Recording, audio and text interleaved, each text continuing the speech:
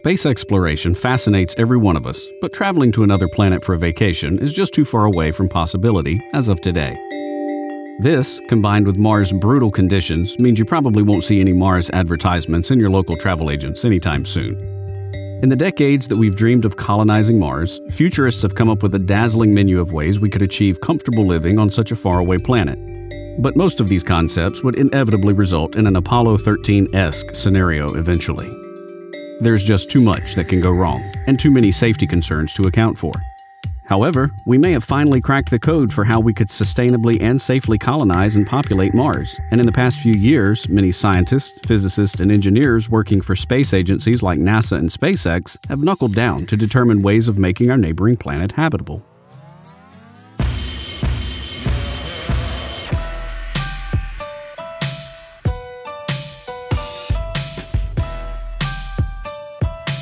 CEO of SpaceX, Elon Musk, is a philanthropist and billionaire who is pursuing the dream of colonizing Mars in the near future. Well, that might be an understatement given his competitors' comparatively longer time frames. The farthest humans have gone from our home planet were the Apollo missions to the Moon by NASA, during which time astronauts traveled 250,000 kilometers through deep space to reach their destination. But the Moon is a natural satellite orbiting Earth, Getting a spacecraft to lunar orbit is a matter of performing a TLI burn and inserting into the Moon's gravitational influence with the right trajectory. Mars, on the other hand, is 55 million kilometers away at the very best of times and requires a much longer and trickier Hohmann transfer to maneuver into orbit. Plus, there's this weird thing we humans have for eating and, you know, staying alive, so you have to pack enough food for about a year of traveling. Therefore, it's very hard to talk about terraforming Mars when getting any sizable creature to the red planet in the first place is enough to give an engineer a migraine. Terraforming such a distant celestial body when we haven't even set foot on it yet demands us to overcome several huge hurdles, but for the sake of not letting this video dissolve into a 12-hour lecture on the practicalities of deep space travel, let's just assume that we have the capabilities to transport some reasonably large gear to Mars and start from there. One thing before we begin. Right now, I'm fresh on YouTube and trying to deliver quality astronautical engineering videos that hit the spot between science fiction concepts and realistic scientific possibilities. And if you subscribe to 26 Dimensions, it would really encourage me to continue adding to my library of videos. You may also be interested in some of my other similar videos, such as this one about Mars' ancient oceans, since we're on a related topic. That's enough of me begging, so let's get right into terraforming Mars. In our case, terraforming means transforming a celestial body to resemble the living conditions of Earth and to create a habitable environment for human life. With Mars, there are a lot of difficulties and threats we will have to overcome in each stage of the transformation. Firstly, let's talk about the atmosphere. Mars has a very thin atmosphere, and the atmospheric pressure on the red planet is just 6 millibars. That's approximately 0.6% of Earth's pressure. Without life support spacesuits, you would die very fast. So before we begin fertilizing the soil, planting trees, and building colonies, we should sort out the air problem. In one experiment conducted at NASA, a person was accidentally exposed to such low atmospheric pressures and fell unconscious within 15 seconds. It took 25 seconds after he passed out for the chamber to pressurize again. When asked what he felt during the event, he said that the last thing he remembered was that his saliva had started to boil. Requirement 1 noted don't explode due to low air pressure. We need to build an insulating, breathable atmosphere around Mars, and this can be done by exposing greenhouse gases to the hypersurface. To initiate the greenhouse effect, we need to release the gases into Mars' thin atmosphere. This can be done using chlorofluorocarbons, some of the same chemicals that are released by our ACs and refrigerators. On Earth, there are tight restrictions on CFCs because planet Earth doesn't tend to like it when we blast it with greenhouse gases.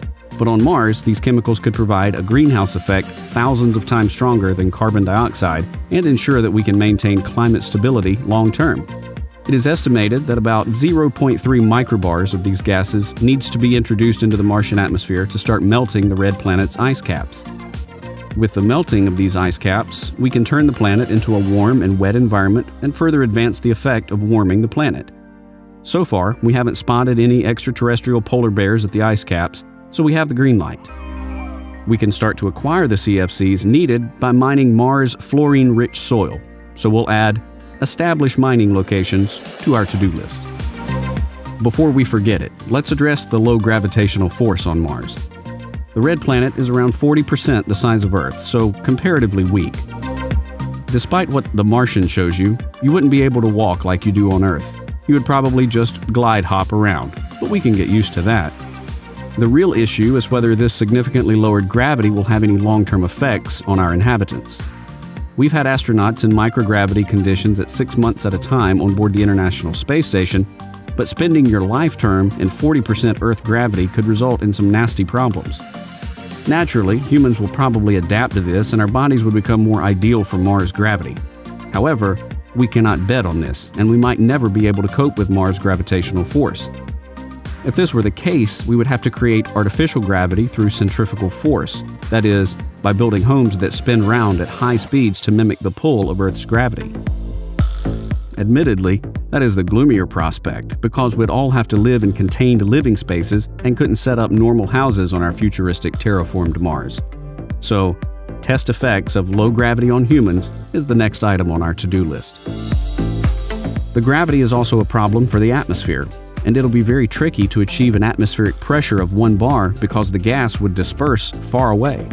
So if we were to make our own atmosphere, we would need to pump huge volumes of gas above the surface. Add produce as much gas as possible to our list, because boy will we need a lot of it. A possible way of kickstarting the development of an atmosphere would be by nuking the poles. You heard that right. This is an idea presented by Elon Musk, who reckons that by smashing the ice caps of the planet, you could release a lot of the greenhouse gases trapped in the soil. There are ongoing debates about whether this option is feasible or not. You could also get smart and try shooting asteroids at Mars. That is also a legitimate idea. Asteroids and comets are rich sources of frozen ammonia, and if we could make hundreds of thousands of such objects to crash into the surface, the ammonia would break down into nitrogen and hydrogen gas and help raise the atmospheric pressure. Since ammonia is a greenhouse gas too, it would have the dual effect of raising the planet's temperature as well. But you can see how a strategy like this could get very costly very quickly. Our next problem is Mars temperatures, which also will not be trivial to deal with. On the surface of Mars, the temperature can drop as low as negative 70 degrees Celsius, which is lower than the average in Antarctica. Just because Mars is red does not mean it's warm. In fact, the highest temperatures the red planet reaches would be considered mild on planet Earth. This is thanks to the faraway location of Mars from the Sun, and a very thin atmosphere to support the greenhouse effect that makes Earth comfortable. 96% of Mars' atmosphere is carbon dioxide, but this is still only enough to create 1% of Earth's air pressure. So building up an atmosphere really should be high up on our list of priorities. But in the meantime, we can put up with electric heating systems for a while. And then you have the absence of a magnetic field, which is quite a cool gift planet Earth gives us, considering that without it, we'd be particularly dead. Earth's magnetosphere protects us from dangerous solar radiation, wind, and flares. You also need one to stop the atmosphere packing up and leaving, wasting all our hard work on task one. Studies suggest that Mars lost its magnetosphere about 4 billion years ago. Before then, it's very possible it had conditions similar to Earth. My Mars Ancient Oceans video exists for a reason. Nudge, nudge. To create a magnetosphere, we could liquefy the planet's core. Yes, that's a serious idea, and no, I'm not going to explain it in this video. Just add, give Mars a magnetosphere to the list. Some of the other difficulties we will face on Mars include, but are not limited to, reduced light levels causing navigation problems and a possible dose of sadness, ionizing solar and cosmic radiation that bombards you every waking moment, molecular instability causing molecules to just nope and disintegrate in the atmosphere, dust storms the size of entire nations wreaking havoc left, right, and center, deadly soil that you definitely don't want to make mud pies out of, and not a drop of liquid water in sight. Sounds like heaps of fun. Not to mention that the process of ticking off each task in our to do list would substantially drain the Earth's resources, meaning it'd be a good idea to invest in asteroid mining to stock up on metals as we terraform Mars. You'll also want to schedule in quite a remarkable number of rocket launches because the materials and energy demanded to complete the terraforming is staggeringly large. But once you've filled up your atmosphere, simulated a massive magnetic field, created some oceans, dealt with the problems of gravity, planted trees, built settlements, and ensured that the dust storms don't come rolling by to wipe away all your hard work, Then you can sit back and appreciate the crushing financial ruin you've brought upon yourself. Thanks for watching. On a serious note, it is very difficult to terraform an entire planet like Mars, but there's still hope we can begin the process soon with advanced technologies and more sustainable methods of space travel. It would be humanity's greatest achievement if completed, and would encourage us to travel even further through our solar system. Many people think it's inevitable that we'll terraform Mars, and I'd like to believe that too. It's comforting to know that we won't be confined to just our home planet forever and never explore the depths of outer space. If you enjoyed my mind crippling attempt at explaining this subject simply, I'd really appreciate it if you subscribe to 26 Dimensions. Every subscriber matters, as does every like on the video. I have many more space related videos like this coming soon, such as whether we could live on Jupiter. Thanks for your support, and I'll see you next time.